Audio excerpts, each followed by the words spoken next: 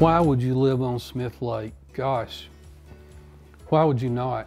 Um, one of the cleanest lakes in the United States. We've got good, deep, beautiful blue water. Um, our winters are not terrible.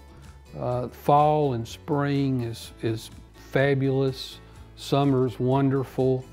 Uh, there's so many activities up here. Um, I've got so many friends.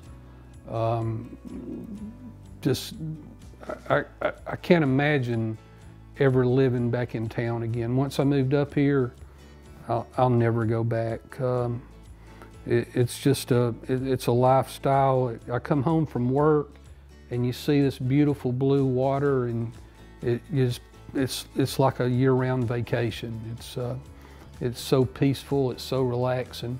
There's been days we may get out 9, 10, 11 o'clock in the morning and cruise, uh, take a picnic lunch, pack a cooler and not come in until 6, 7, 8 o'clock at night. It's just, uh, you know, the, the lake uh, has so many different areas you can, you can cruise and, and look at. Um, there's, there's always something to do. I've got friends from one side of the lake to the other. Uh, you know, you can always um, ride down, pull up somebody's boat dock, get out, sit on the dock for a while, visit, talk.